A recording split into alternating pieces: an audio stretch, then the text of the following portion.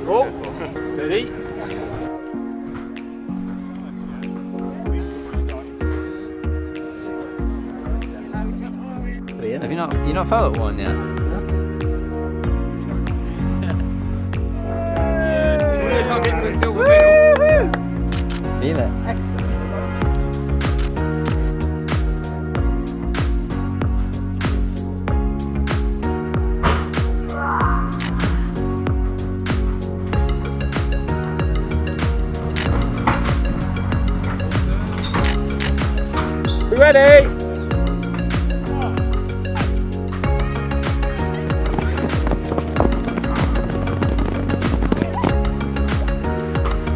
All right, okay, and hold when Second. somebody's talking about that, that's great. Does it put more pressure on you to run as part of a team like that?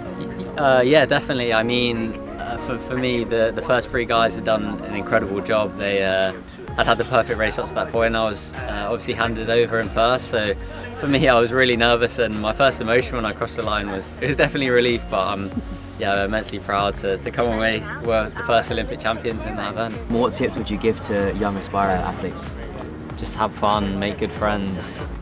From when I was 10 years old, starting out here and at Crystal Palace, like the guys who supported me when I was just having fun and you see it, you see it all around you here, like this is what it's all about. You never know, like over there could be the, the next future Olympic champion and that's amazing. Like, and if I could do any part of that and inspiring somebody to, to come here and give it a go, then that's, that's what I'm eternally grateful for. Yeah, Thank you so much for talking to us this evening. Uh, and uh, he has plenty of people here in support to uh, looking forward to congratulate him back here in South East London. Can I have a look at the gold ones? Honestly, are so heavy, aren't they?